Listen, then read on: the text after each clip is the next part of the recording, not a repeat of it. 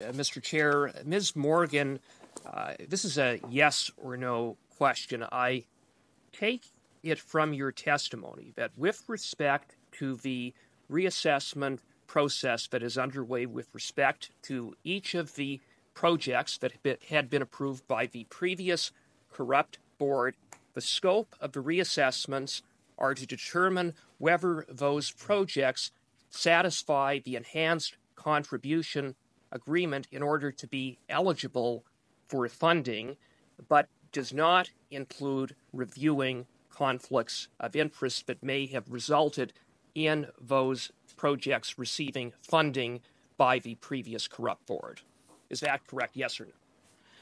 Uh, Mr. Chair, we are reviewing um, the projects independently to assess their eligibility as recommended by the Auditor General.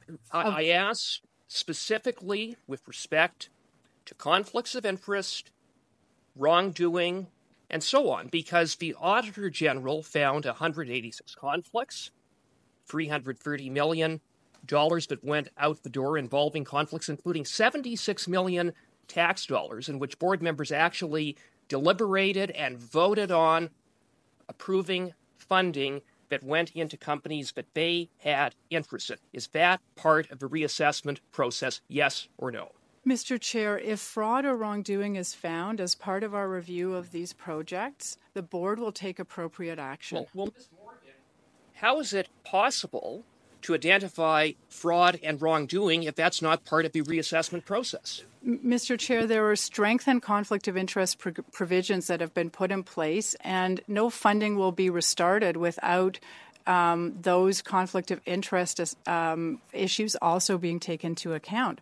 So we're looking at the eligibility reviews by independent assessors, and we're looking at, um, at, and we're looking at all of the issues before we restart. And should we find any evidence of fraud or wrongdoing, of course the board will take appropriate action. Why, why is that not part of the reassessment process? Mr. Chair, the reassessment process that we're talking about vis a vis eligibility is what was recommended by the Auditor General. And we put that in place with independent reviewers, well, two independent reviewers per project to assess eligibility. Okay, that was thank, the thank recommendation for that, that. the Auditor uh, General it's, made. it's very clear, or it seems to be clear, that uh, priority is to get funding out the door, but much less of a priority is rooting out the corruption and conflicts involving hundreds of millions of taxpayer dollars. Now, uh, Ms. Doyle stated uh, if we find any evidence of wrongdoing on the part of a recipient, uh, the board will take action on recovery. What action has been taken to date to recover monies that improperly went out the door where there was wrongdoing? Because Ms. we already know of instances where that has been clearly established. What steps have been taken? Uh, Mr. Chair, uh, the process of reviewing the projects for eligibility is really at the beginning stage, and um, we've started to review those projects. Um, we are looking at a process to um, restart funding that will address issues of eligibility um, and conflict of interest for previously approved projects.